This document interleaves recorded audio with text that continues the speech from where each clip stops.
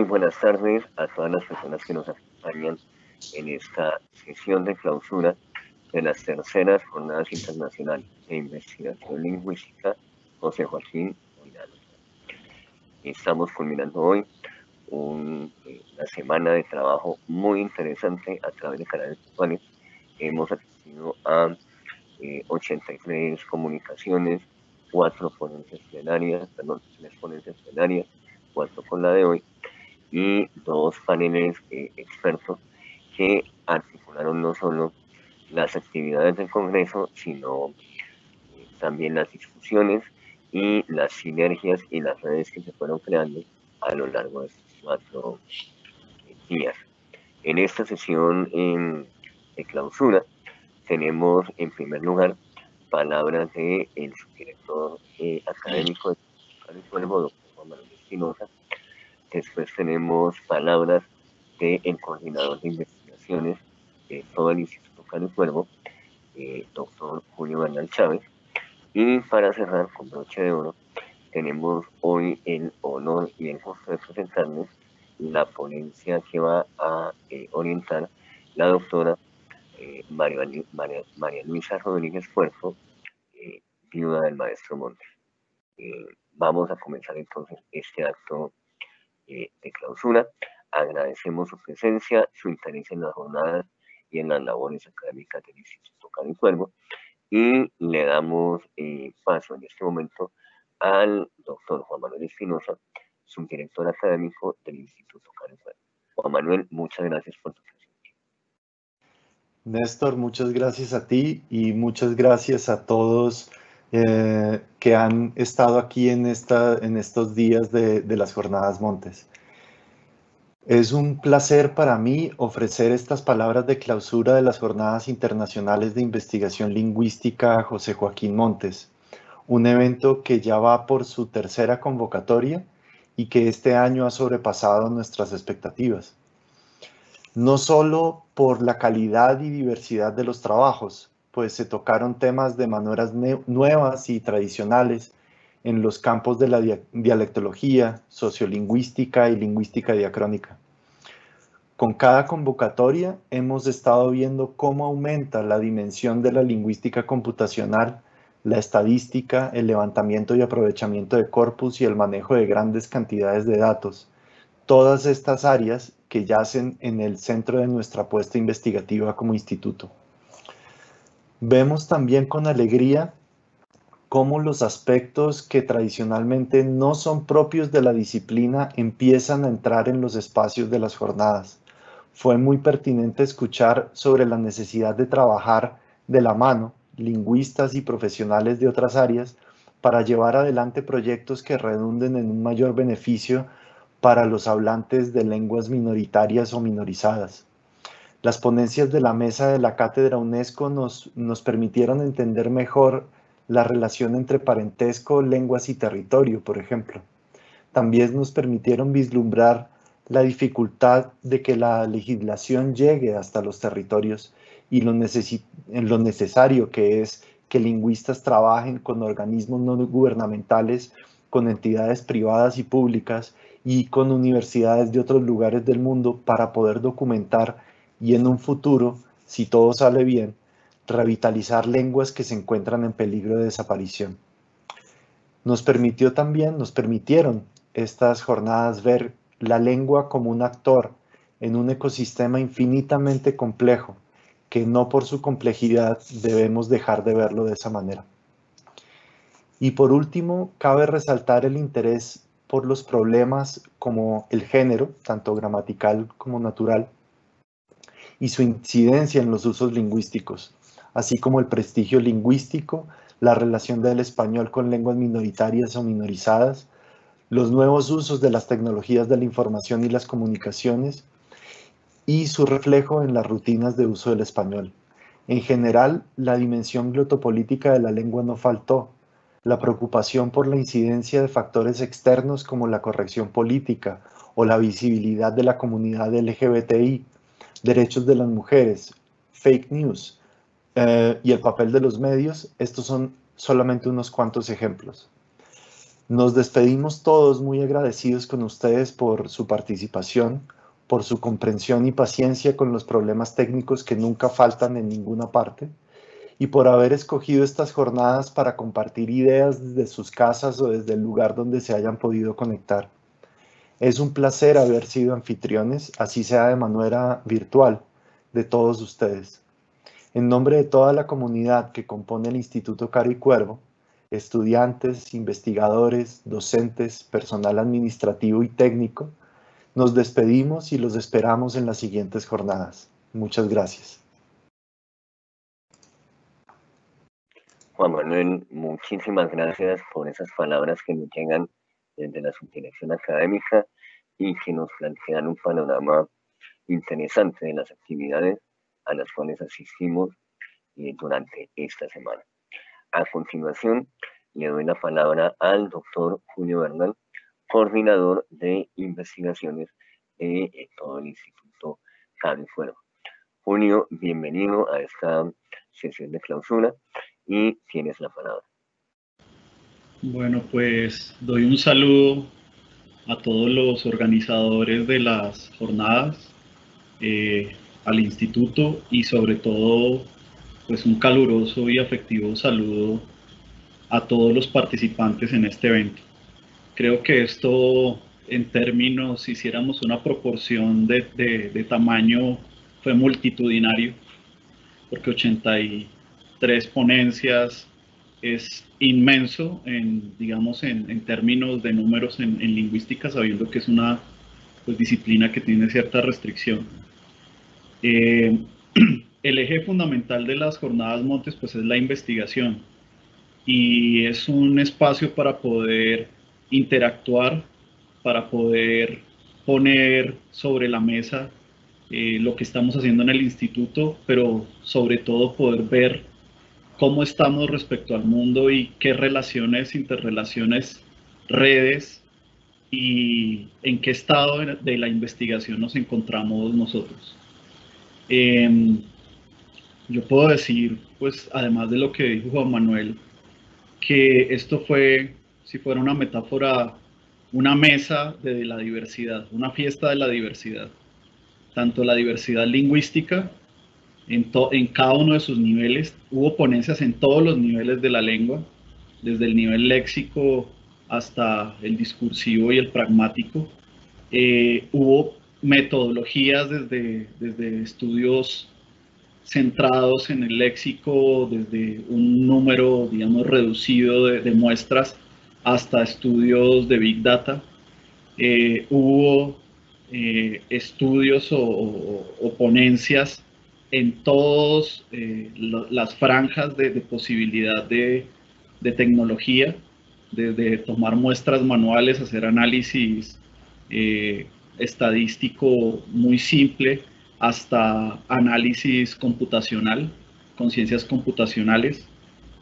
Eh, estuvieron disciplinas desde la diacronía, la sincronía, o, o bueno, perspectivas de estudios de lo diacrónico, lo sincrónico y disciplinas desde la dialectología con enfoque tal vez un poco más tradicional a la sociolingüística urbana hasta eh, la lingüística de corpus. Y sobre todo que veo que es un momento en el cual la intradisciplinariedad dentro de la misma lingüística obliga a que haya interacciones y haya diálogos y, relaciones que se están abriendo. Em, yo tengo la sensación de todo este Congreso de una renovación generacional, de que están tocando las puertas con fuerza, con seriedad, con mucho trabajo y con una excelente formación eh, profesionales tanto en Colombia como en el resto del mundo. Tuvimos ponencias desde China, eh, Estados Unidos, Nicaragua, Brasil, una gran hubo, una gran participación, Chile, eh, de España. Eh, entonces, digamos que aquí estamos viendo en qué estamos y estamos viendo esa renovación generacional en el estudio de, la, de, la, lingüística. Y eso me da un gran ánimo y también es como una gran voz, ¿no?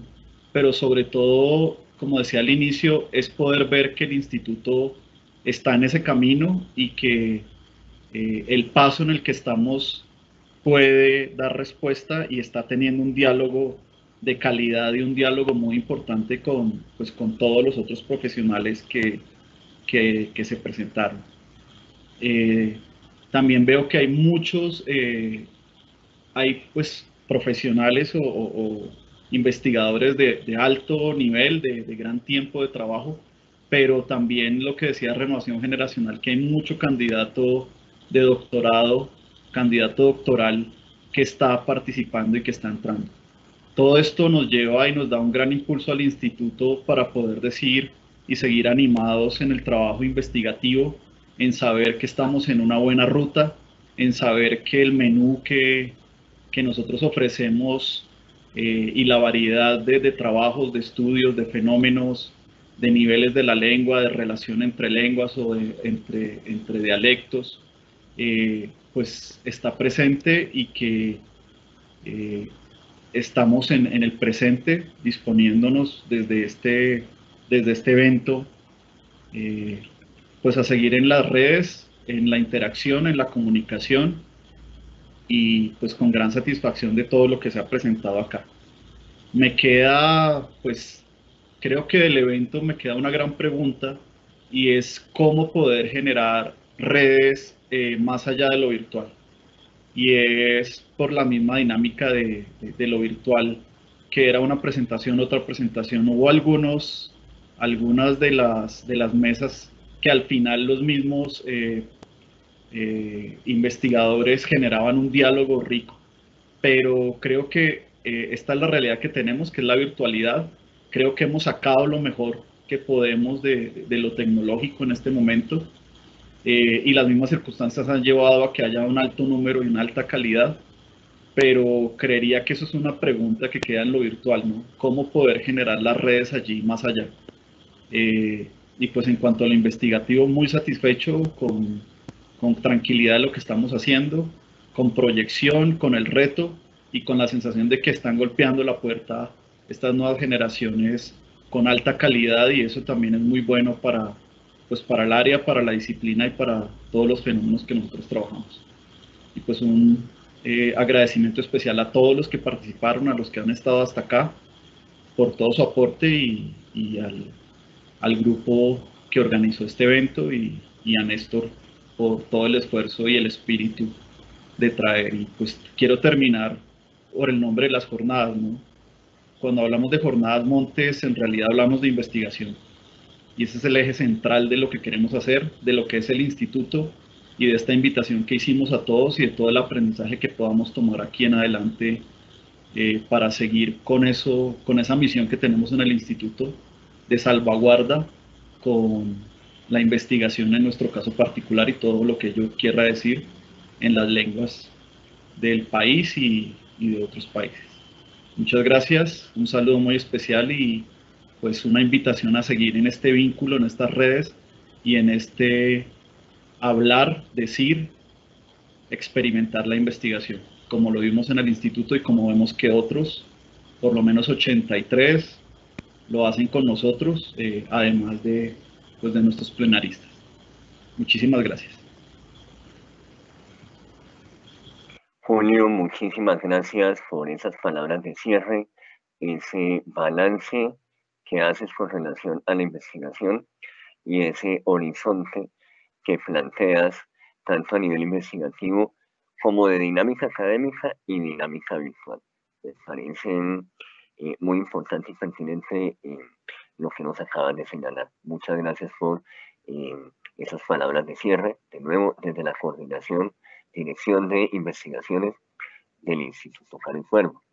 A continuación, vamos entonces a dar paso a la doctora María Luisa eh, Rodríguez y su eh, ponencia. Me voy a permitir presentarla eh, en este momento. María, María Luisa Rodríguez es investigadora jubilada del Departamento de Dialectología del Instituto Fuego y viuda del maestro José Joaquín Montesirano.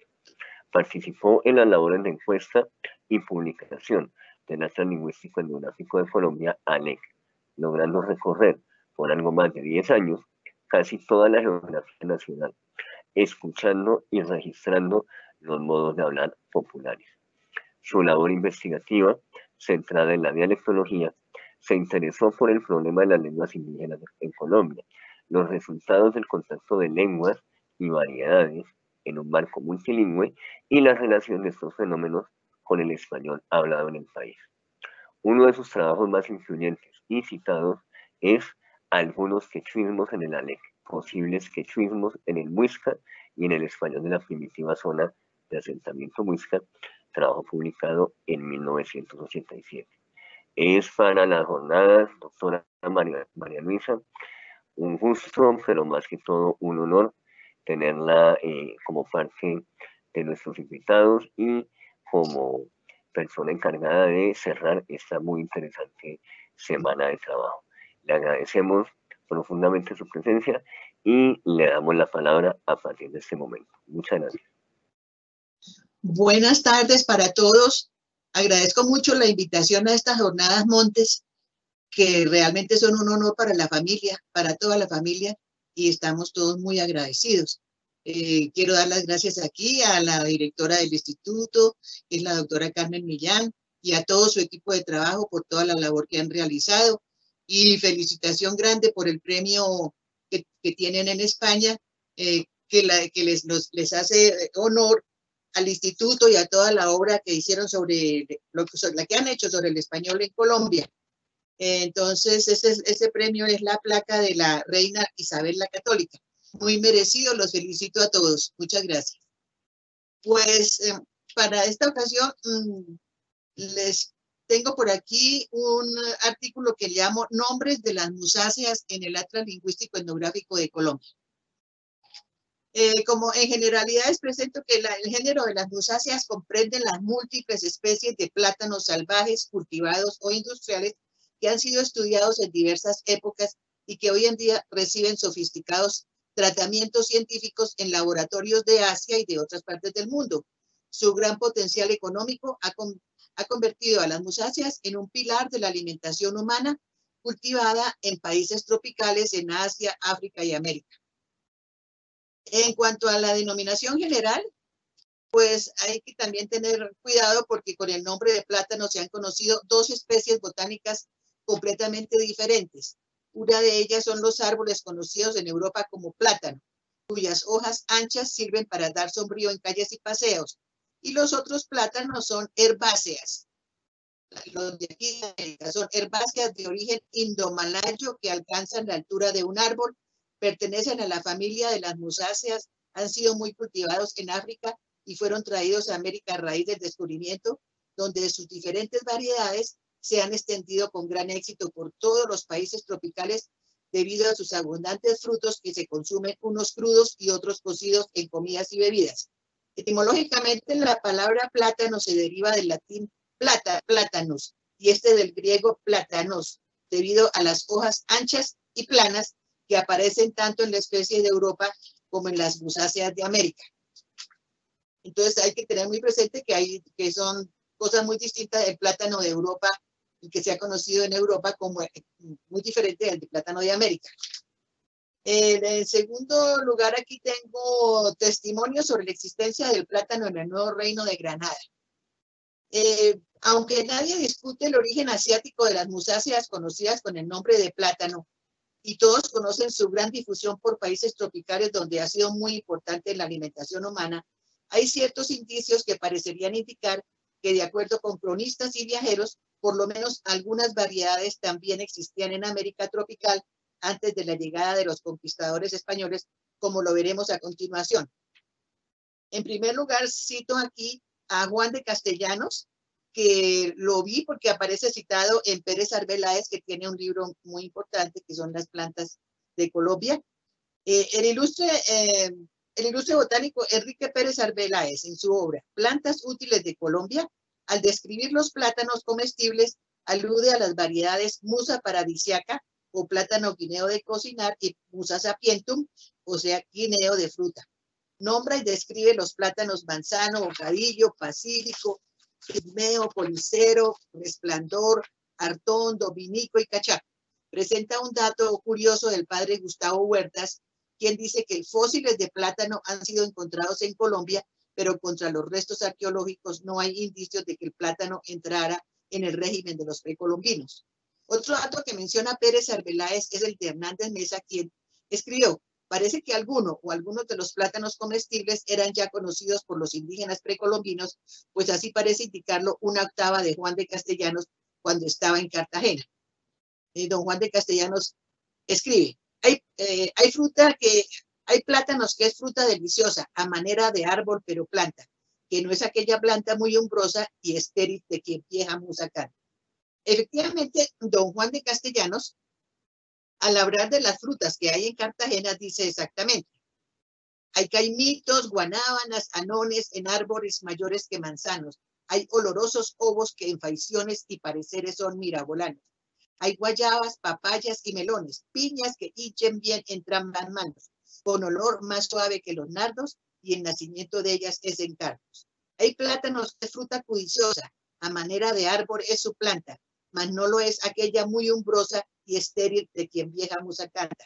Pues a la fruta de esto deliciosa, musa le llaman en la Tierra Santa y no sé por qué vía o, o qué hombre acá en Plátanos le puso nombre. Vemos en esos, en esos versos que acabo de leer como el andaluz Juan de Castellanos, quien nació en 1522 y murió en Tunja en 1607, hacia 1539 se embarcó para venir a América convirtiéndose en soldado, sacerdote, viajero, historiador, poeta, gran observador y de otra parte autor del más largo poema en lengua castellana. Conocedor de la, conocía el plátano europeo, cuyas anchas y planas hojas sirven de sombrío en parques y paseos, pero también conoció otro vegetal llamado plátano en América, que no es árbol, porque lo dice muy claramente, a manera de árbol es su planta, y que mientras eh, en Europa es umbrosa y estéril, el de América tiene fruta deliciosa. En sus versos, en sus versos parece dolerse algo, no saber por qué, quién le puso ese nombre en estas tierras. Sin embargo, hace una primera diferenciación de los dos plátanos, algo muy importante, que él conocía muy bien el plátano de Europa y al llegar aquí a América pudo conocer el plátano de estos que se, está, que se cultivaba en esos tiempos y se pregunta quién le puso ese mismo nombre en la Nueva Granada. Otro testimonio también interesante sobre la existencia del plátano antes de la llegada de los conquistadores lo trae el capitán Bernardo de Vargas Machuca, eh, que mm, es, muy, es un dato temprano que podría tomarse en cuenta sobre la existencia del plátano en el nuevo reino de Granada.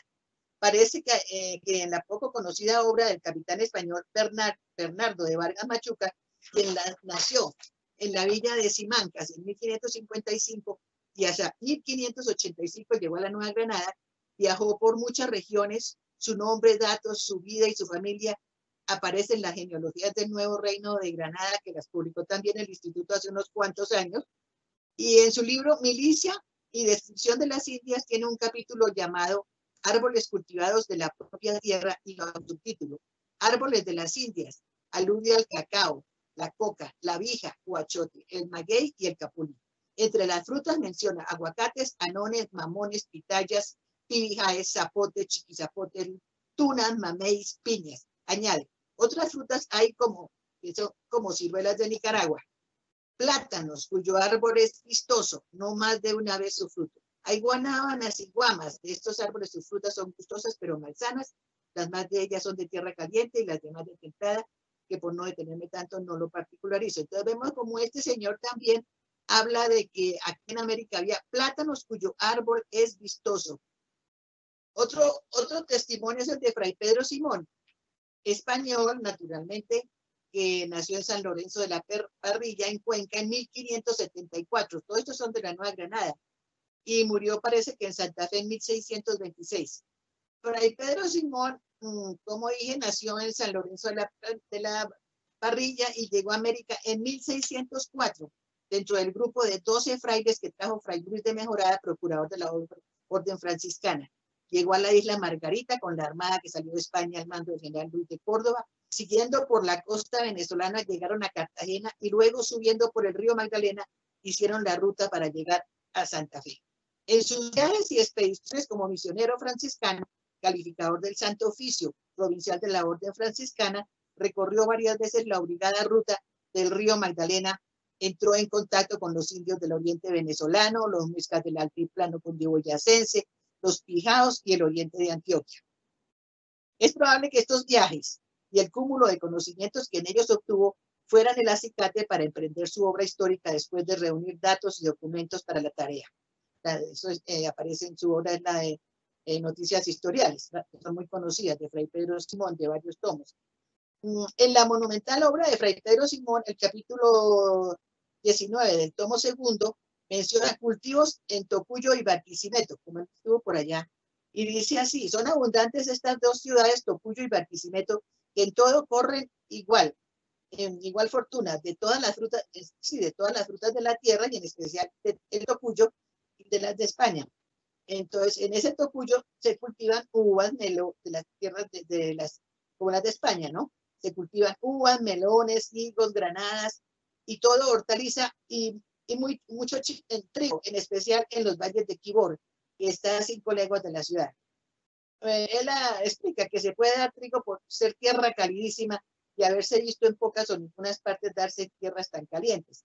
Pero a él le pareció que la causa de cogerse tanto y tan bueno era regar las cementeras con una quebrada y una buena molada de agua que bajaba de las cumbres de una serranía y que por bajar algo fresco y regarse de noche refresca y sazona la tierra, dándole el temple que pide el trigo, contra el que naturalmente la tierra que de suyo solo es apta para dar sus frutos naturales. Hay que oír bien lo que dice.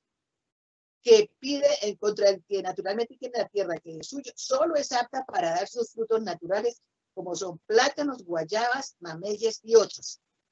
Este segundo testimonio de un cronista conocedor del nuevo reino de Granada se cuenta desprevenidamente que los plátanos son fruto de, una tierra no es apta para dar su, eh, de una tierra para como por ejemplo plátanos, guayabas, mameyes y otros. Eh, como dentro de la investigación del plátano, fuera de los cronistas, tenemos a los investigadores del siglo XX, como Víctor Manuel Patiño y la revista SPS. Eh, la revista es una revista que ha sido un boletín del Instituto Vallecaucano de las Investigaciones Científicas del Departamento del Valle del Cauca. En el año 1983, bajo la dirección de Víctor Manuel Patiño, apareció el suplemento número 4, que fue un homenaje al bicentenario de la Expedición Botánica de la Nueva Granada. Este importantísimo tomo recolectó relaciones geográficas de la Nueva Granada de los siglos XVI y hasta el XIX, con selección, provenio, notas y edición a cargo del sabio botánico vallecaucano. Algunas relaciones de este tomo se escribieron como respuesta a diversos cuestionarios enviados por la corona española mientras que otros provienen de visitas o de viajes de funcionarios a quienes se les encargó suministrar noticias sobre determinados territorios. De todas estas relaciones que don Víctor Manuel Patiño logró reunir en sus revistas de expedencia, eh, eh, hay muchas que nombran el plátano. Por ejemplo, en la relación de Tenerife, mm, que mandó a hacer en 1580, estamos todavía en la Granada, Don López de Orozco, gobernador perpetuo y capitán general de la ciudad de Santa Marta y sus provincias. A esta relación respondió Bartolomé Briones de Pedraza y a, Juan de la Serna, escribano público y del cabildo de dicha villa.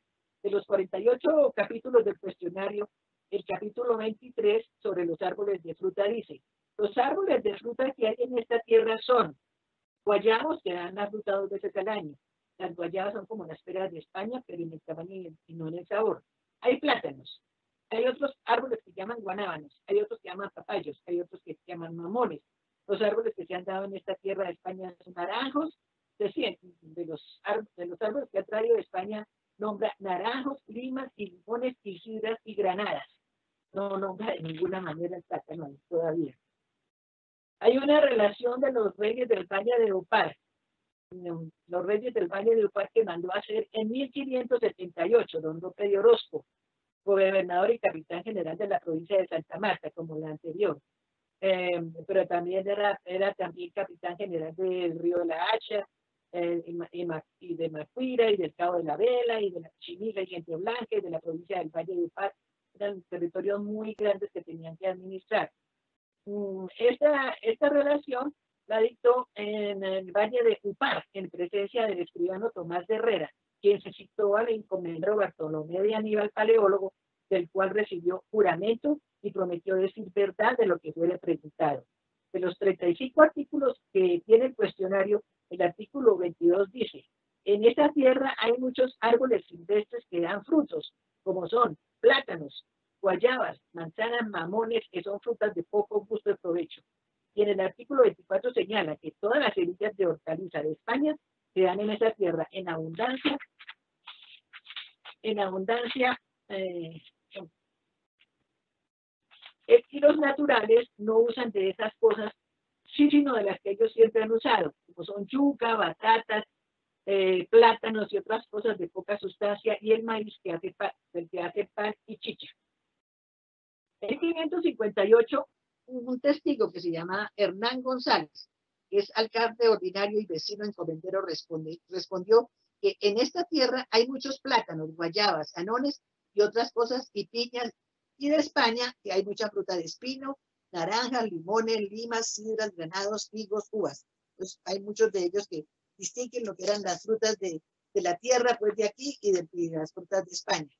También en 1568 otro, otro testigo, el capitán Pedro Becerra, vecino y encomendero, respondió, aquí hay muchos guayabos, granadas y plátanos que son de la tierra y que toda fruta de, y de toda fruta de España también se cultiva, claro, higos, también ya habían llegado los higos, las uvas, la granada, la caña pistola, y todo se da porque es aparejada para dar todo lo que ella se cultive.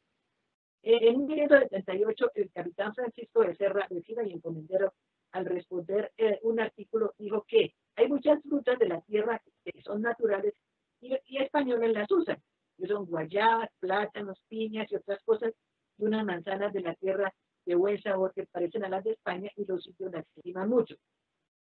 Eh, en la relación que hacen de, de, los indios musos y colinas, ordenada a hacer en la ciudad de Trinidad por el gobernador Juan Suárez de Cepeda. No me pagan a mí para hacer fuente creativo. Alonso Ruiz Lanchero. Entonces, de la relación de los indios musocolimas que estábamos viendo, respondieron, respondió Alonso Ruiz Ranchero, junto con Juan Patiño de Aro y Juan Delgado. Y dijeron que el alimento de los indios es el maíz y frisoles, la yuca, hay batatas, cogen en algunas partes turmas, hay mucha cantidad de piñas, hay papayos, hay mucha cantidad de plátanos. Él, sí dice, hace caído el árbol de otra parte. Es el único que eh, pues da ese testimonio, que quién sabe, pues no sabe de dónde, pero que no es de no pertenece a la región de los indios musocolinas. Bueno, de la relación eh, de, del capitán Juárez de Cepeda del gobernador capitán Juan Suárez de Cepeda respondía en 1582 en la ciudad de La Palma.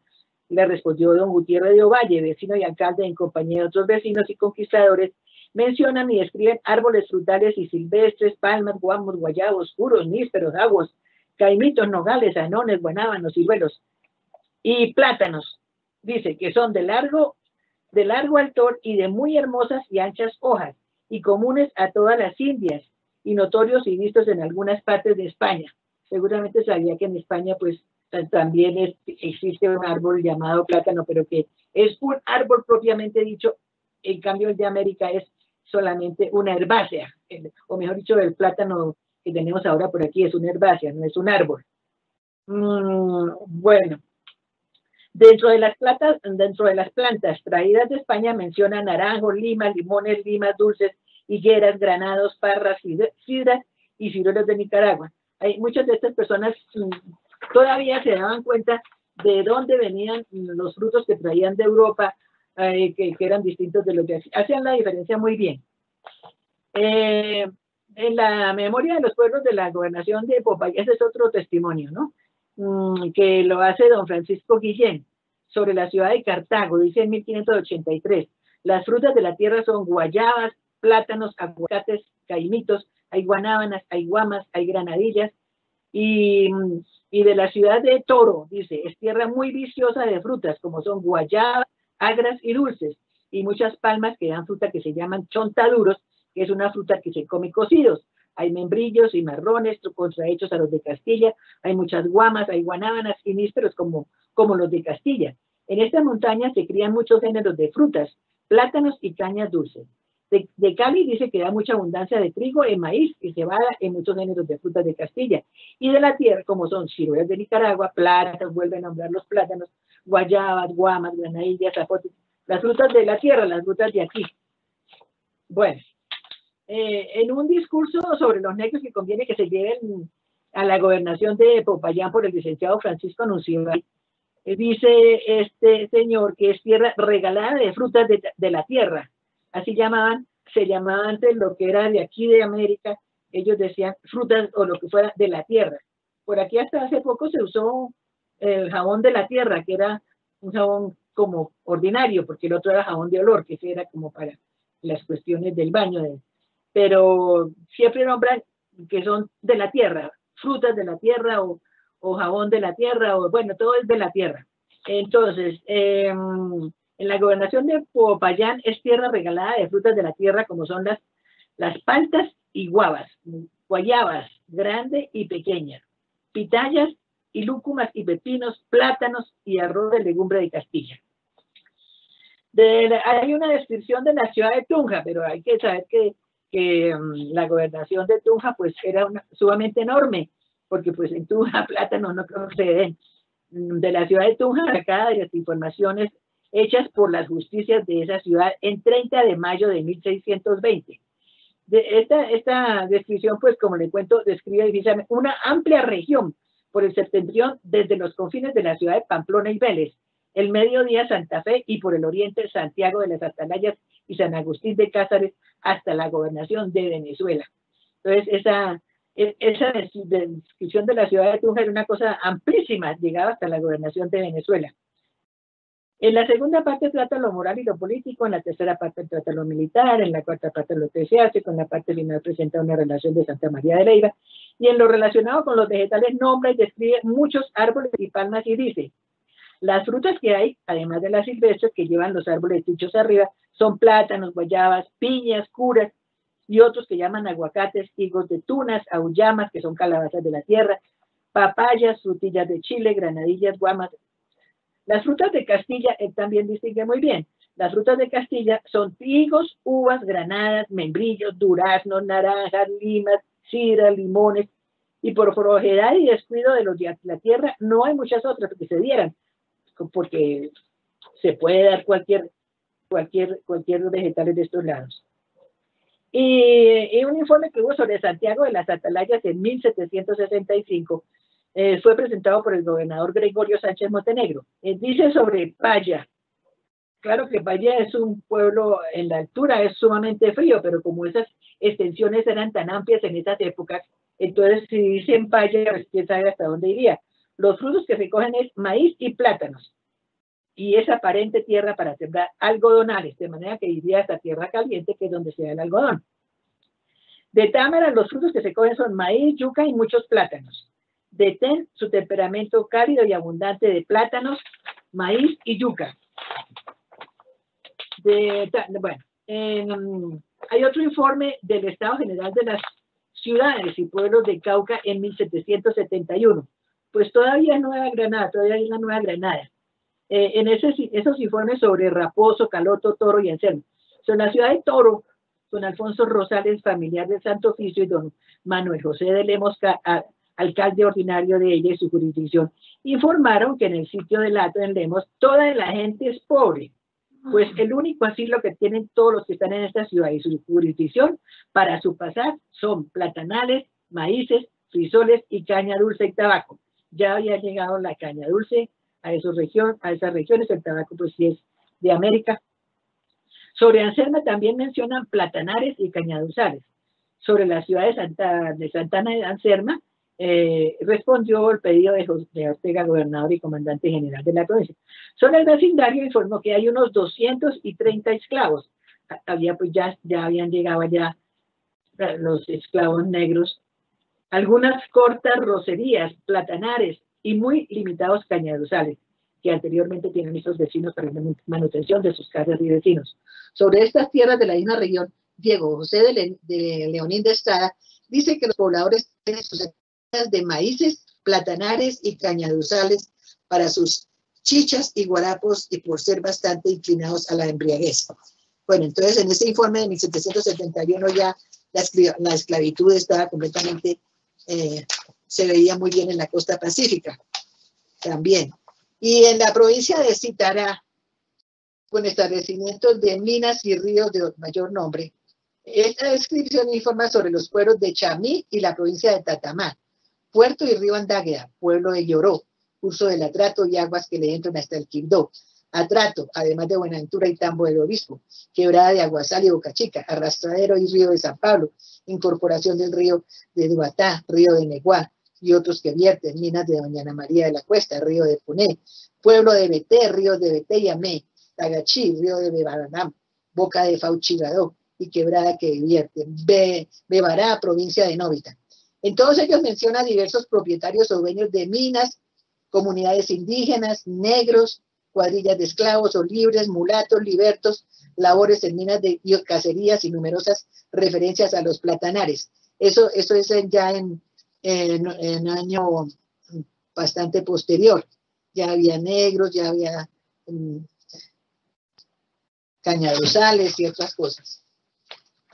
En la, provincia del estado de Novita, entonces es una interesante relación geográfica de la región y de algunas poblaciones.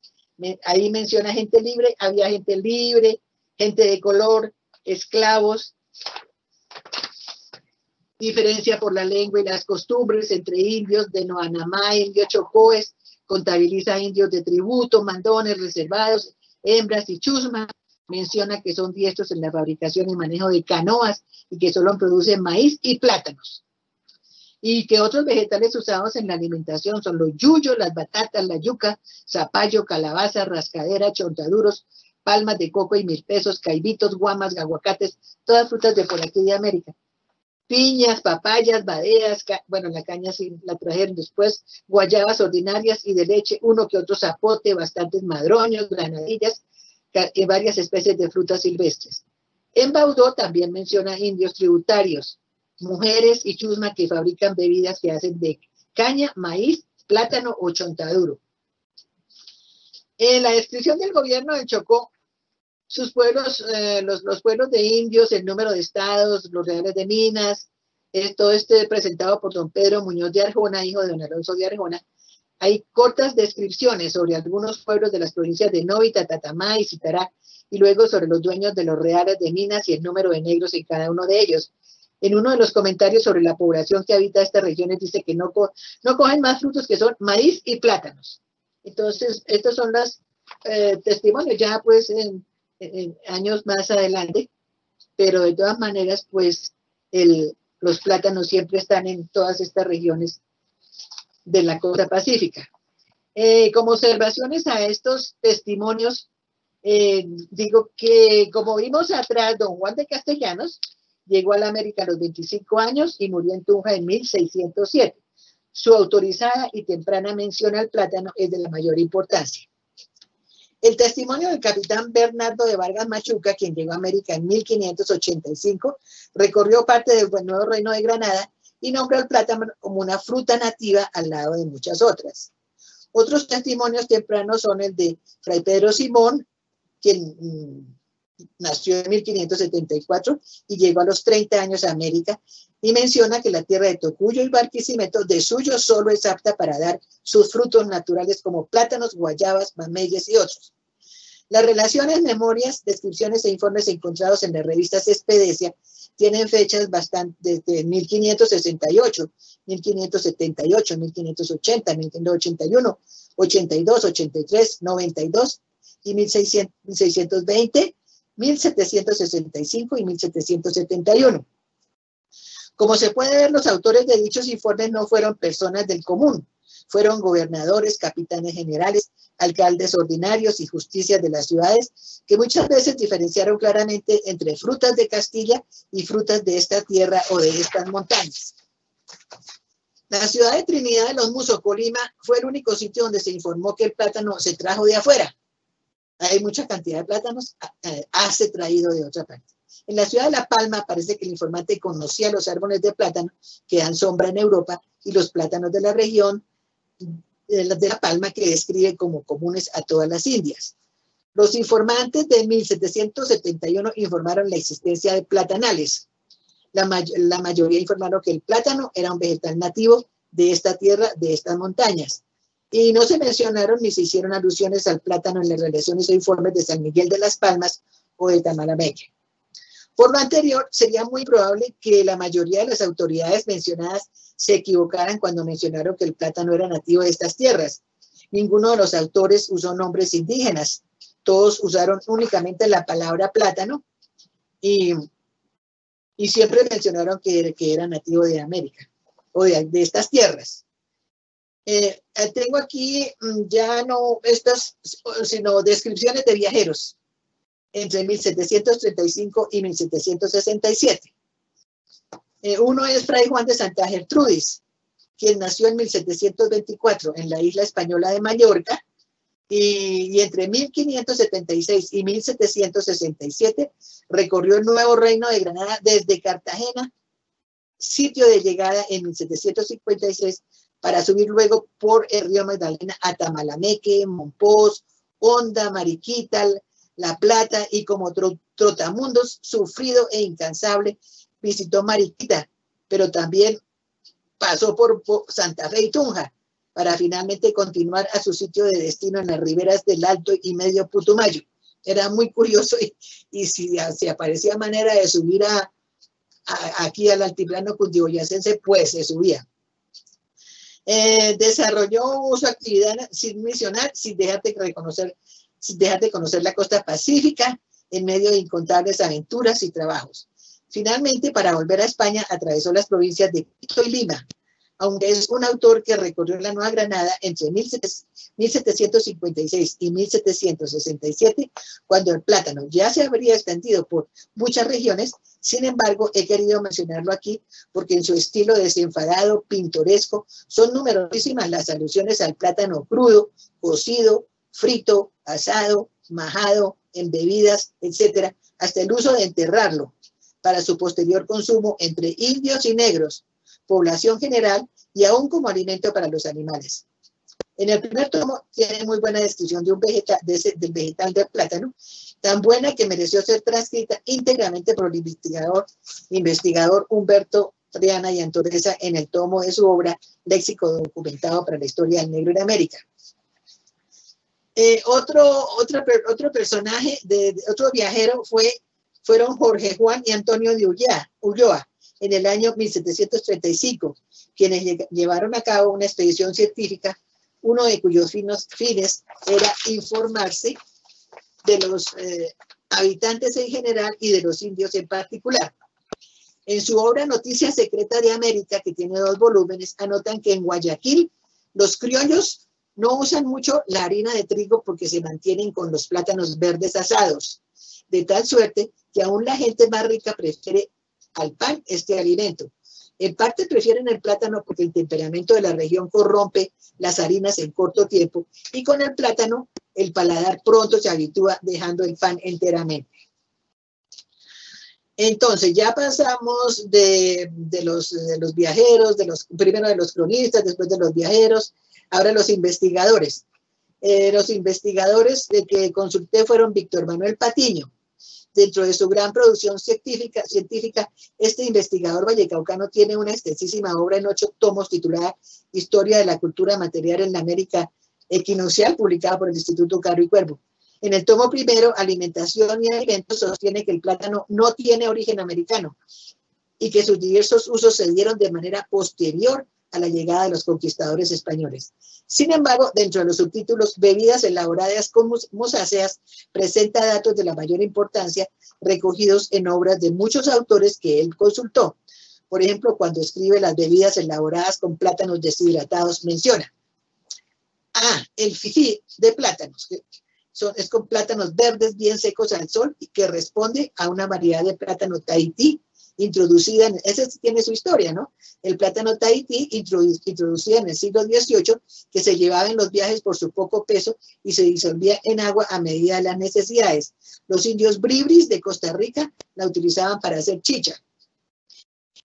El madu, fabricado con plátano maduro, cocido y machacado con la adición de cacao usado por los indios curas de las islas de Ustupu, Malaputu y obras del archipiélago y otras del archipiélago de San Blas de Panamá. C. La mishla, bebida de, con plátanos maduros cocidos reducidos a pasta que se disuelve en agua, bebida de las tribus de Talamanca y Costa Rica. Entre las bebidas alcohólicas elaboradas con plátano molido, Víctor Manuel Patiño menciona la usada entre los mainas de la parte oriental del Ecuador, la de los misquitos de Centroamérica, conocida con el nombre de huabul o el quieble usado entre los bogas del río Esmeraldas. En el río Orinoco menciona las informaciones de Cubilla sobre una chicha muy fuerte con plátano maduro secado al sol. Los indios de Chucunaca y del Darién preparan unas pastas con plátano sancochado y pilado. Y si es para viaje de largo, le mezclan masa de maíz, lo envuelven en hojas de bijao y lo ponen a hervir hasta darle el punto requerido. Escribe Patiño, del siglo XIX hay datos sobre bebidas de plátanos de Costa Rica entre los guatuzos, chirripos, chirripos y bribris, y entre los caqueteños putumayenses, inclusive en el presente entre varias tribus, entre, varias tribus amazónicas se preparan a base de plátano andú, el anduche de los cofanes, el chucuy de los quijos y el chapo del oriente peruano. Hace referencia a Gumilla al tratar la alimentación acerca hace referencia a Gumilla al tratar la fermentación acética o vinagre basada en plátano o banano maduro en América equinoccial, uso, uso también detectado entre los misquitos de, de la costa centroamericana con el nombre de mislao. Otro investigador es Humberto Triana y Antorbeza. Ah, pues sí, el primero, Víctor Manuel Patiño, que les estaba leyendo, pues el instituto le publicó sus obras, mm, que son como siete tomos, y con frecuencia venía del Valle del Cauca, venía Yerbabuena a la, a la biblioteca y también a la imprenta donde estaban haciendo su obra. Tuvimos mucho gusto en conocerlo, tratarlo y hablar con él de muchas cosas. Otro de estos investigadores que también conocimos en Yerbabuena y muy notable por sus investigaciones es don Humberto Triana y Antorbeza. Este investigador bogotano en el tomo de su obra, eh, página 268, estudia la palabra banana que según él es nombre del plátano precedente de Guinea, en el oeste africano. Desde dónde y de las Canarias fue llevado el fruto a las Antillas hasta, hacia 1516. Sobre el origen del plátano dice que hay muchas opiniones diferentes. Haya o no haya existido en América prehispánica, los españoles llevaron especies hasta entonces no conocidas allá y se ha extendido su cultivo grandemente. Según Humboldt, se cultivan en el continente algunas especies de plátano en tiempos prehispánicos. El artón se llamaba sapoloti. Sin embargo, es raro que ninguno de los primeros historiadores de América lo mencione. Ni Colón, ni Cortés, ni Las Casas, ni Bernal Díaz de Castillo, ni el doctor Hernández, ni Sahagún. Añade Triana y Antorbesa. Según Humboldt, los españoles llevaron a Perú desde Tahití una cuarta especie de plátano, plátano comúnmente llamado plátano de Tahití vino con la fragata Águila desde Asia. Finalmente dice, nos parece finalmente que las varias especies de plátano que hoy crecen en América, puede haber existido una o dos, pueden haber existido una o dos antes de la conquista. Añade que con suma frecuencia aparecen idiomas africanos, naturalmente palabras tales como el Wolof, el Hul y el Mandingo. Eh, Alejandro de Humboldt, el cuarto investigador, la presentación de estos últimos científicos e investigadores podríamos cerrarla con la posición del sabio alemán Alejandro de Humboldt, quien describe lo siguiente sobre el plátano de América así. En colonias españolas no se conocen todos los musa o pisán descritos por Rufios y Reed. Sin embargo, se distinguen tres especies que los botánicos no han determinado todavía, sino muy imperfectamente. El plátano o artón, musa paradisiaca. El camburi, musa sapientum y el dominico, Musa regia Yo he visto cultivar en Perú una cuarta especie de un gusto muy exquisito, el Neya del Mar del Sur, que en el mercado de Lima se llama plátano de Tahití, porque la fragata Águila llevó los primeros plantones de la isla o Tahití. Ahora bien, en México y toda la tierra firma de América es una tradición constante que el plátano artón y el dominico se cultivaban allí mucho antes de la llegada de los españoles, pero ya el guineo, que es una variedad de cambur, fue llevado a las costas de África como su mismo nombre lo aprueba.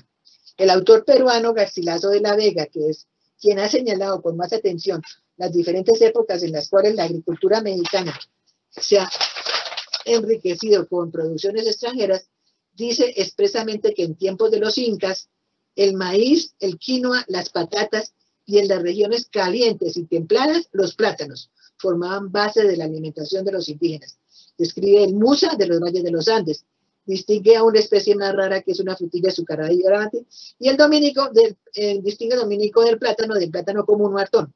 Es indudable que el plátano, que varios viajeros dicen haber visto en silvestre, en Ambioma, Gilote y en las Islas Marianas, se cultivaba en América antes de la llegada de los españoles, de los, de europeos. Y hasta ahí llega la, la del señor Alejandro de Mundo. Ahora, pues ya saltamos, ya pasamos de los cronistas a los viajeros, a, los científicos, a los investigadores, y ahora llegamos las musáceas y el Atlas Lingüístico Etnográfico de Colombia, o sea, ALEC. El Instituto Cara y Cuervo realizó el Atlas Lingüístico Etnográfico. Ah, pues ah, tal vez sí ya se puede poner la presentación de los nombres de los nombres del plátano en el ALEC. ¿Se puede poner ya en presentación? Bueno, entonces, eh, el Instituto Carro y Cuerpo realizó el Atlas Lingüístico Etnográfico de Colombia bajo la dirección de don José Manuel Rivas Saconi, con don Luis Flores como jefe del Departamento de Dialectología. Las encuestas para la ley se realizaron entre 1958 y 1977 en 262 localidades colombianas con un cuestionario de 1.800 preguntas que cubrían 18 temas. La publicación, con 1.500 mapas, apareció en seis tomos y su primer tomo estuvo dedicado a la agricultura. Para el tema de la agricultura se entrevistaron agricultores de más de 50 años.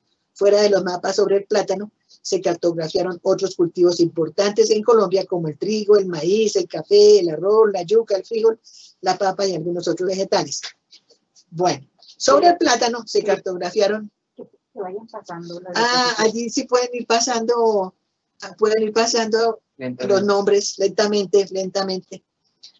Eh, sobre el plátano se cartografiaron datos sobre nombres del cultivo, el cultivo, nombres para el racimo del plátano, la flor del plátano, la vaina seca, la vaina pseudotallo y los numerosísimos nombres para cinco variedades, que como lo pueden apreciar ahí en lo que están pasando por la pantalla, son el plátano enano o musa cavendishi, el plátano banano o musa sapientum, el plátano bocadillo, musa acuminata, plátano artón, musa paradisiaca y el plátano topocho, musa balbiciana colla. Mirando esos, esos, cinco, esos cinco mapas del Atlas sobre el plátano, el fruto de la mata del plátano, entonces se encontraron 244 nombres que se hallaron para las variedades de plátano. Aparecen, pues, eh, investigando ahí eso, aparecen las que aluden a supuestos lugares que da origen, es, dan origen a este nombre. Por ejemplo, se dice que es en muchos sitios ahí se puede, que es africano, anda aquí, bogotano, o sea que los plátanos eh, tienen un, eh, supuesto lugar en muchas partes. Y dice, africano, anda aquí, bogotano, barranquillero, barranquillo, cataínez, carrión, cieneguero, costeño, cubano, chileno, chino, extranjero, fereño, francesito, guineo, guineo, cadillo, guineo, cao, guineo, mucho de guineo se acuerdan de todavía seguramente de, Guinea, en el África. Guineo Bocao, Guineo Cambín, Guineo Cieneguero, Guineo Calicero, Guineo Costeño, Guineo de Castilla, Guineo de Indio, Guineo Enano, Guineo Guato, Guineo Largo, Guineo Lindo, Guineo Manzano, Guineo Negro, Guineo Papa la Reina, Guineo Patriota, Guineo Pequeño, Guineo Real o Real, Guineo 500, Guineo Centavo, Habano, Jamaico, Limeño, Macondo, Maqueño, Mocuano, Montuno, Pacífico, Paramero, portugués, portugo, Portugal, puertoveleño, San Pablero, Sinaguero, Tocaimo, Tocaimero, Tocaimo Artón, Tahití. Podemos ver que hay muchísimos, nombra muchísimos lugares de, origen del plátano. Los unos más o menos seguramente alcanzaron a dar con, cuando dicen que es de Guinea. Eh, alusivos a la gente, hay entonces esos nombres que, 244 nombres que encontré, alusivos a la gente hay a, cachaco, hay plátanos que se llaman, o que por lo menos los informantes que, se consiguieron para, los informantes que se consiguieron para preguntar por la agricultura, y en este caso por el plátano, pues eran todos, eran eh, pues cultivadores de su tierra, agricultores de más de 50 años, conocedores de todo, de toda la región y sabían muy bien mm, todo lo relacionado, y le daban seguramente muchos nombres cariñosos o lo que fuera. Por ejemplo, dice que alusivos a la gente ahoga cachaco, pero bellaco, cacique, cachaco, cholo, gobernador, matacura, mestizo, patriota, policía. Nombres que ellos, todos estos nombres fueron dichos por los agricultores propiamente de todas las 260 y pico de localidades que se hicieron en Colombia. Alusivos a comunidades religiosas, dominico, únicamente aparece dominico. Alusivos reales, dice bocadillo de la reina, bocado de reina, bocado de la reina, bocadito de reina, empelatriz morado, papo de reina, quineo, papo la reina, plátano real. Alusivos al cuerpo humano está, eh, pues hablan de que un plátano lo llaman así, cotudo, copepadre, chica pierna, choncho, mocho, papo, papoche, rabón, rabú, rabudo, pecho de mujer, paturro, popocho, pipón, pombocho, poncho. Por la forma, entonces aludieron a las formas. Asentado, cajeto, cigarrillo, colimocho, cortadita, cuadrado, cuatro filos, filo, filú, lápiz, mocho, píldoro, pildorillo, tres filos, romo, recortado, pompo, punta chopo, punta redonda, topo, topocho, tres esquinas, tres filos, truncho. Por el color, cambure negro, colorado, coloradito, blanco, morado, rucio, zapote. Por la textura, seda, sedita y enano, seda, enano de seda. Por el tamaño, comino, enano, grande, largo, gigante, chico, paturro, pineo, pigmeo, plátano grande. Alusivo a animales. Burro, costille vaca, cole caballo, cole mula, chivo, huevo de burro, mataburro, ovejo, pajarito, perico, rabón, rabudo, zorro, rabo, sapo, tortugo. Por, por, la propiedad de llenar el estómago, hartón o salvavidas.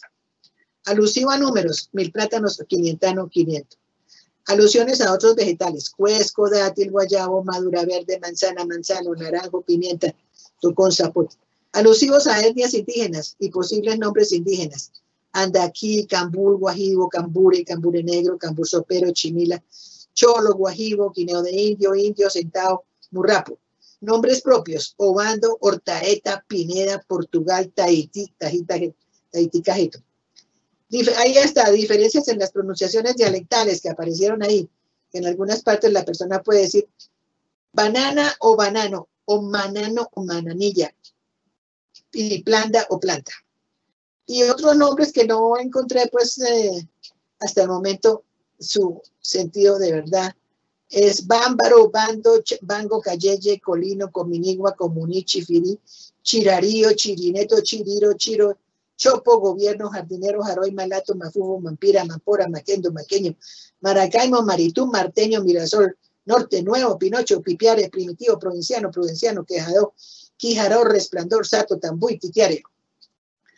La cantidad de, la gran cantidad de nombres para referirse al plátano allá en el ALEC, 243 nombres.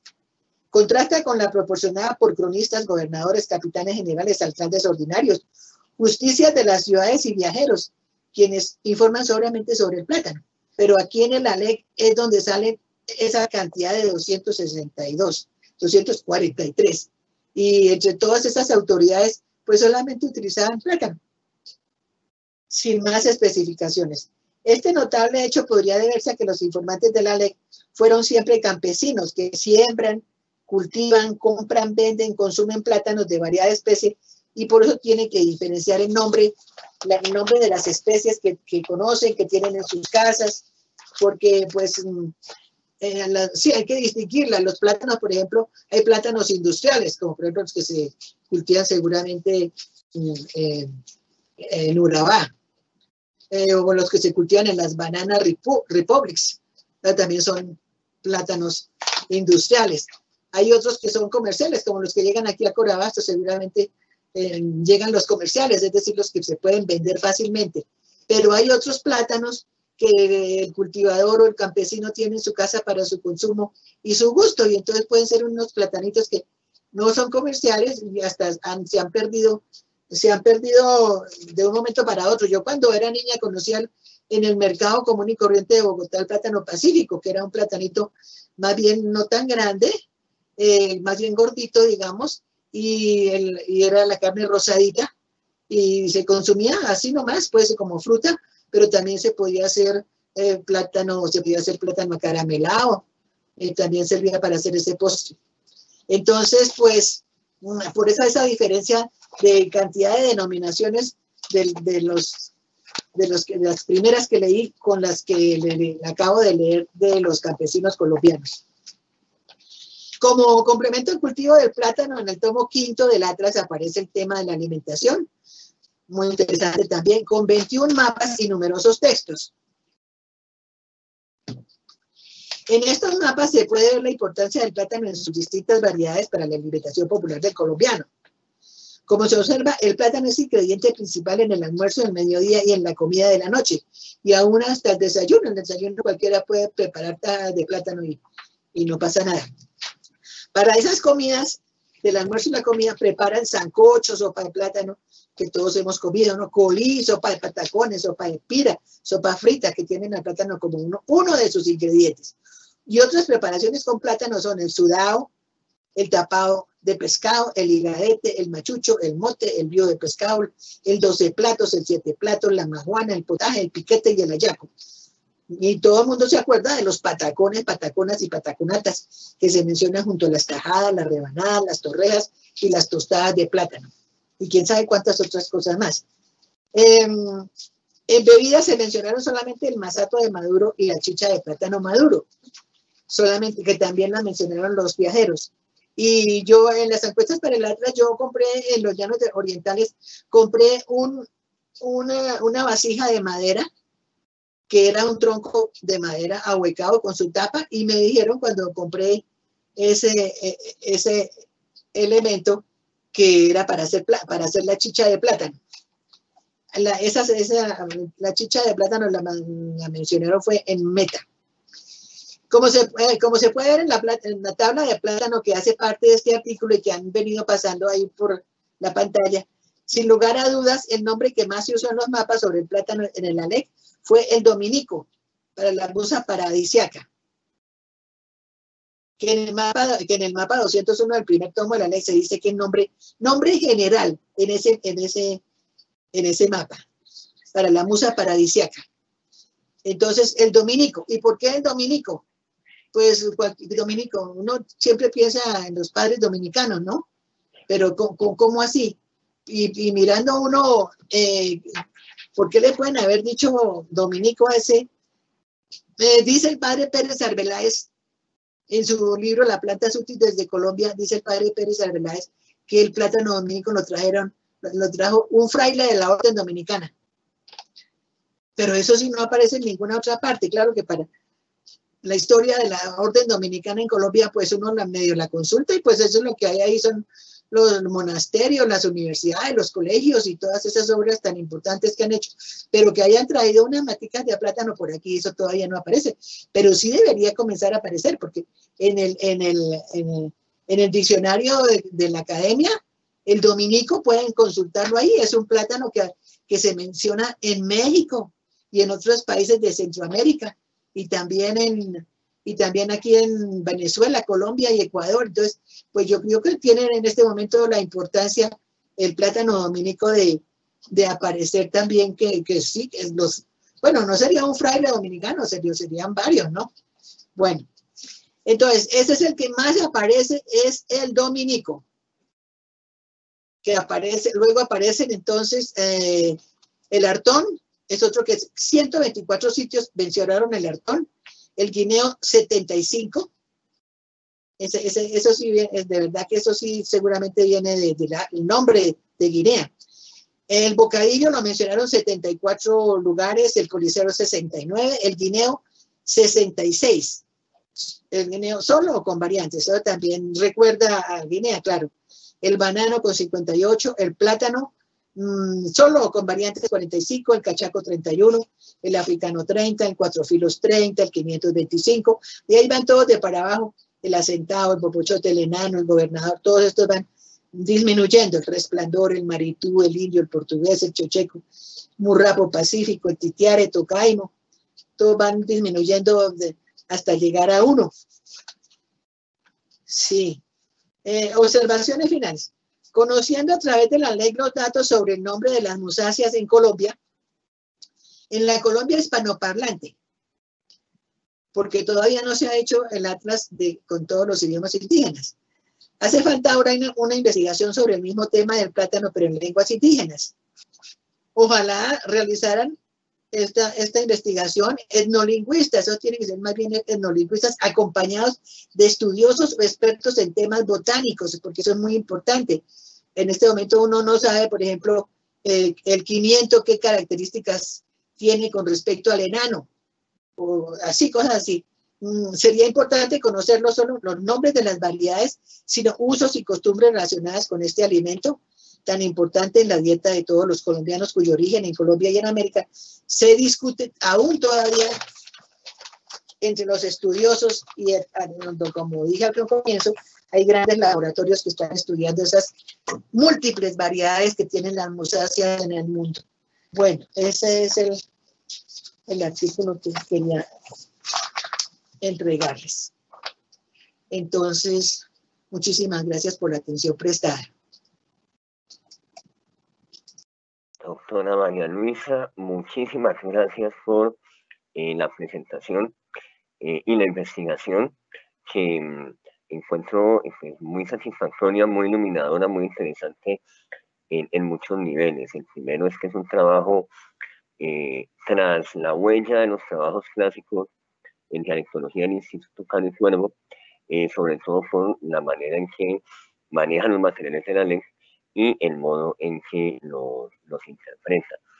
Para mí particularmente es un trabajo eh, muy satisfactorio, sobre todo por el recorrido diacrónico que usted hace al, al inicio, mostrando eh, las documentaciones tempranas y tardías del el nombre del plátano en los diversos cronistas, eh, funcionarios judiciales y administrativos, y luego eh, expedicionarios, científicos, etc. la felicito, me da un, gusto enorme escuchar un trabajo de este tipo con el rigor y la calidad que caracterizó siempre su labor investigativa, doctora. Tenemos en primer lugar una serie de observaciones en el chat eh, Carmen Rojas, que nos escribe desde Roma, y Diego Aguinaga, que nos escribe desde Valencia, España, la felicitan y agradecen por eh, la ponencia y los datos que nos ha entregado. Estamos em, gestionando la aparición de, los, de las preguntas en el chat y mientras eh, me, van, me van dando las preguntas, yo quiero comenzar a, hacerme unas de, de mi lado. Eh, primero, antes de las preguntas, quisiera compartir una serie de observaciones. Eh, primero, eh, su trabajo, muy bien orientado, da una serie de elementos para aclarar finalmente las hipótesis sobre el origen, la entrada del plátano en Colombia. En mi haber, yo conocía tres teorías. Una, la más peregrina de todas, era que la semilla y la planta la habían traído los primeros esclavos negros, después de, eh, eh, iniciando, perdón, el siglo XVII, pero usted claramente con la referencia a los testimonios tempranos demuestra que no hay asidero para esa, para esa hipótesis. En segundo lugar, eh, la hipótesis que más se ha discutido y que usted muy bien ilustró en la conferencia fue la ruta árabe.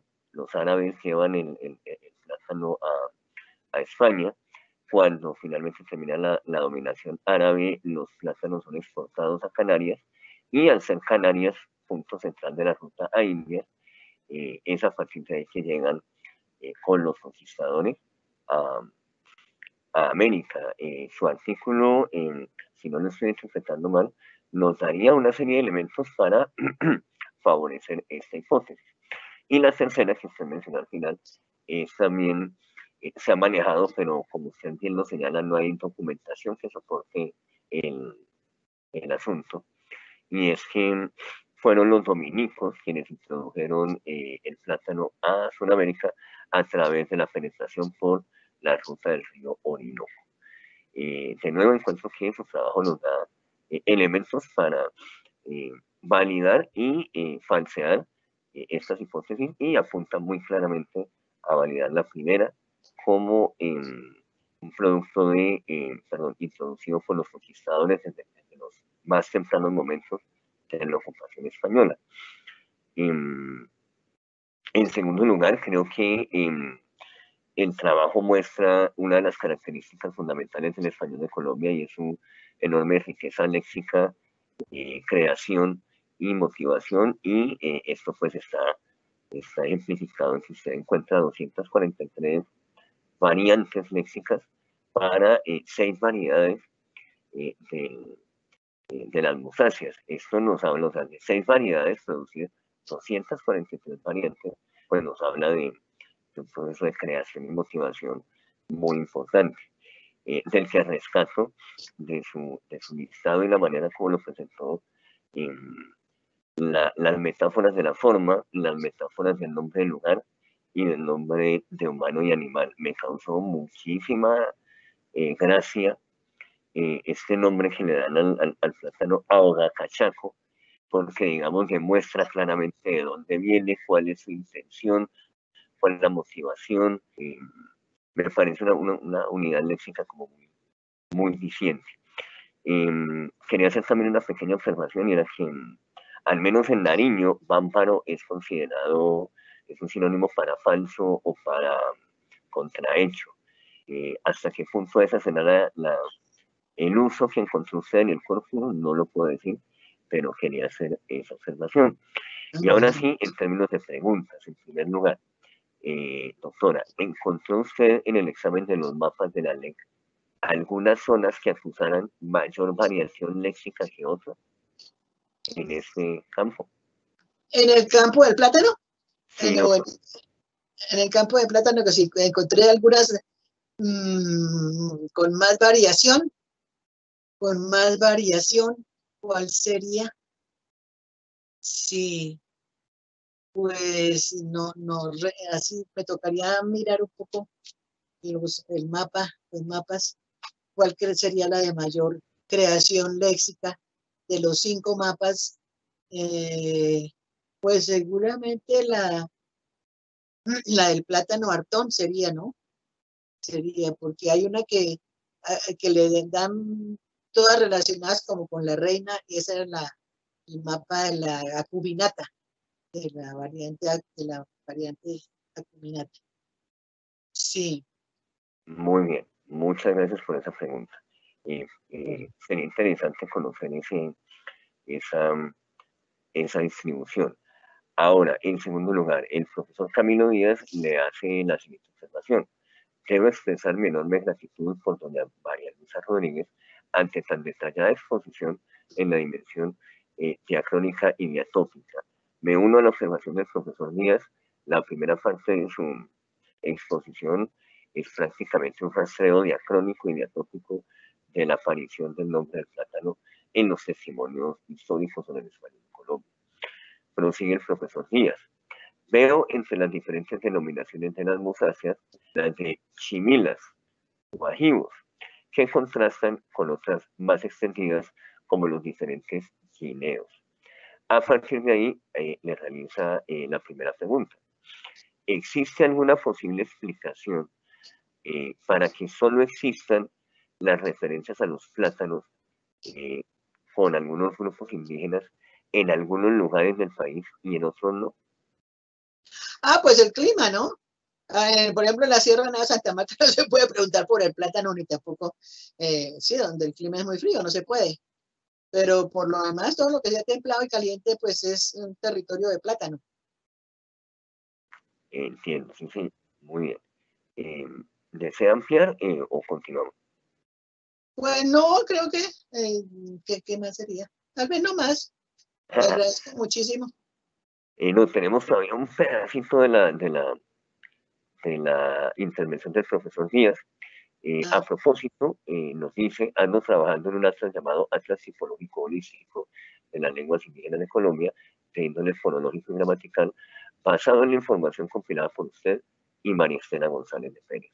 Esto solo ha sido posible gracias a sus esfuerzos y, valga la redundancia, le agradezco por ello de corazón. Esa es la intervención que nos da el profesor eh, Camilo Díaz. Muchas gracias. También la felicita el profesor Rafael Orozco. Felicitaciones a la doctora María Luisa Rodríguez. Excelente ponencia. Eh, muy bien.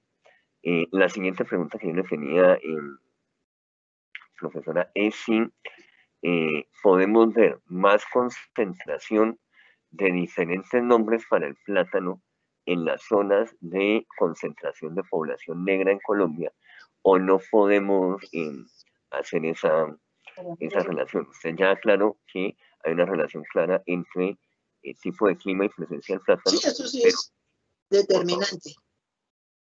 Y para la variación de, de del plátano en, con respecto a las, a las regiones? Eh, sí, la pregunta sería si específicamente en las regiones de asentamiento negro puede usted ver mayor o por el contrario menor variación en los lotes. Eso sería un tema para, para mirar por ahí, investigar, porque eh, realmente eh, la población negra, me dice usted refiriéndose a la costa pacífica, porque población negra pues hay en toda parte, ¿no? Entonces pues como difícil porque población negra tenemos costa atlántica, costa pacífica y luego por todo el río Magdalena. Y, entonces, pues, como, como difícil, ¿no?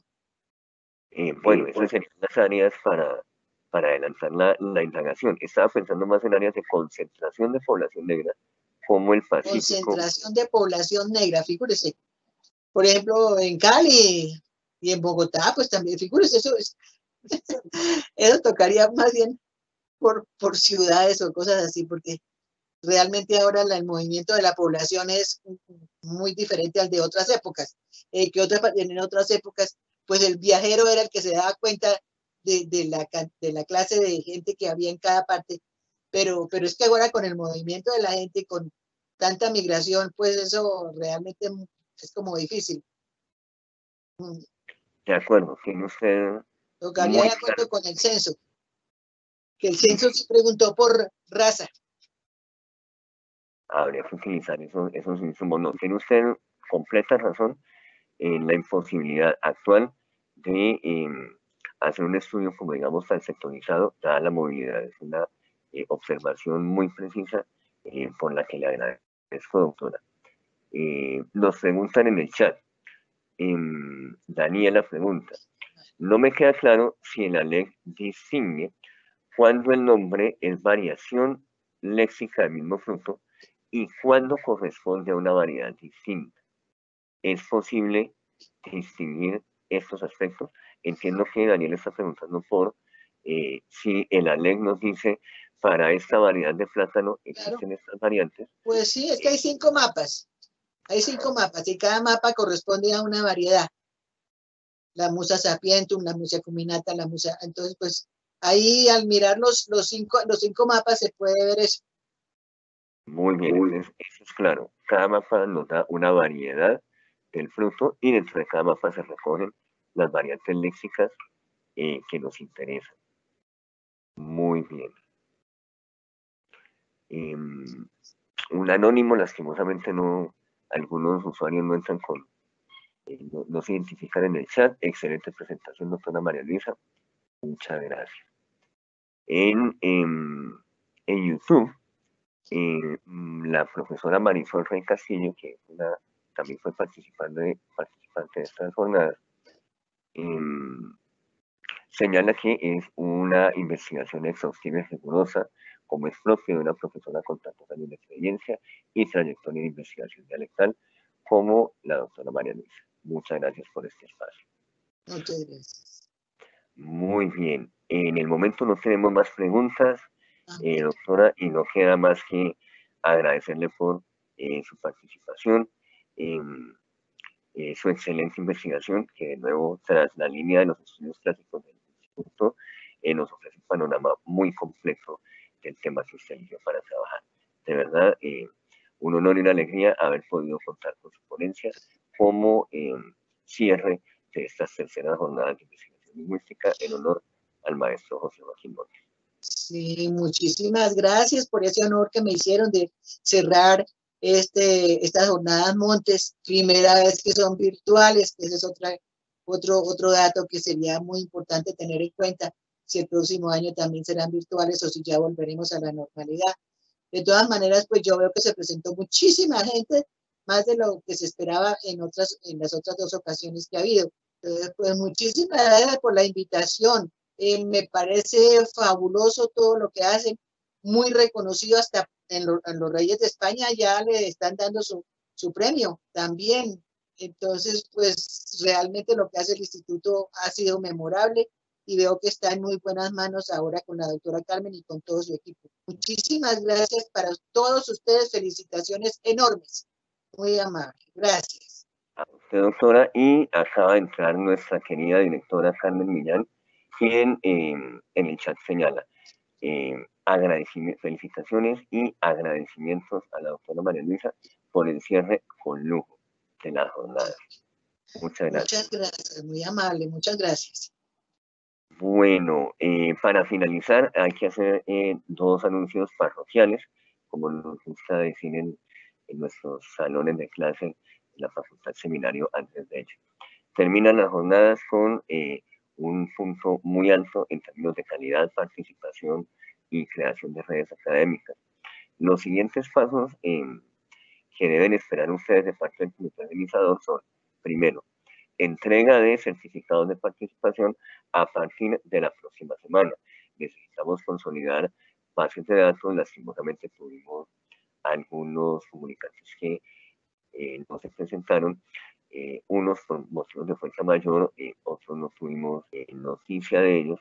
Entonces tenemos que depurar la base de datos para poder enviar certificados de participación. Los esperarán al correo con el cual se inscribieron a las jornadas de nuevo a partir de martes o miércoles de la próxima semana. Ese es nuestro primer anuncio parroquial. El segundo es que en lo que resta del año vamos a producir los lineamientos editoriales para el, libro que recoja las memorias de las jornadas. Eh, como ha sido eh, nuestra costumbre desde que iniciamos en la organización de este evento, eh, si bien producimos un tomo de memorias, no lo llamamos memorias o actas del Congreso, eh, porque todos sabemos que esto eh, no puntúa y no favorece en los sistemas de medicina académica. Eh, por lo tanto, tendrá un, nombre, digamos, que englobe las perspectivas que se vieron esta semana trabajadas en las mesas de trabajo y em, que a su vez, digamos, proyecte un poco la, la intención del volumen. Lastimosamente, al tener semejante volumen de comunicaciones. Y aunque por la calidad que hemos visto nos encantaría publicarlas todas, tenemos que hacer un proceso de selección. Entonces, eh, en las próximas semanas esperen los lineamientos editoriales para entender eh, formato, extensión, em, tipo de, de texto eh, para presentar. Y una vez hayamos establecido plazos y hayamos recibido los, los manuscritos, el comité científico se volverá a reunir para, em, para seleccionar los trabajos más destacados que, va, que irán a este libro eh, de las jornadas. Eh, previamente, el, el, el, libro de las primeras jornadas, Nuevos Métodos en Dialectología y Sociolingüística, eh, salió finalmente publicado en formato electrónico. Y em, aunque no es una camisa de fuerza, no es una apuesta ya definida, eh, exploraremos si el próximo volumen, dado que estamos en un ambiente completo de virtualidad, eh, se edita de manera electrónica, es muy posible, o decidimos editarlo en, en físico. Creemos desde ahora que para la circulación y visibilidad de su trabajo y sus comunicaciones va a ser mucho más pertinente la comunicación en medio electrónico, pero lo decidimos en su momento. Por lo pronto, esperen de nuestra parte la, las, eh, los certificados de participación y eh, posteriormente los lineamientos editoriales y fechas para presentación de manuscritos a publicación. De nuevo, es con enorme satisfacción que doy por culminadas estas jornadas internacionales de lingüística en su tercera versión. Satisfacción no solo a nivel académico por la calidad del trabajo que hemos visto, sino también eh, a nivel técnico y administrativo. No puedo eh, retirarme sin agradecerle con muchísima sinceridad y con el corazón en la mano a los miembros del comité organizador em, y eh, a, a, Milka y a Lida, que fueron nuestro equipo técnico, la espina dorsal del, del evento, quienes permitieron que fuéramos reunirnos a través de estos canales. Nunca nos vieron, pero ellos estuvieron ahí pendientes de todos ustedes y de nosotros. Y eh, les quiero extender públicamente eh, una, un, abrazo y un muy, muy, muy merecido eh, reconocimiento. sin extendernos más, de nuevo, cerramos las jornadas en este punto y les agradecemos por el interés y los invitamos a que sigan consultando nuestras redes sociales y página web para que nos acompañen en todas las actividades académicas que el Instituto y Cuervo ofrece a lo largo del año. Muchísimas gracias a todos y tengan una muy feliz noche y buen fin de semana.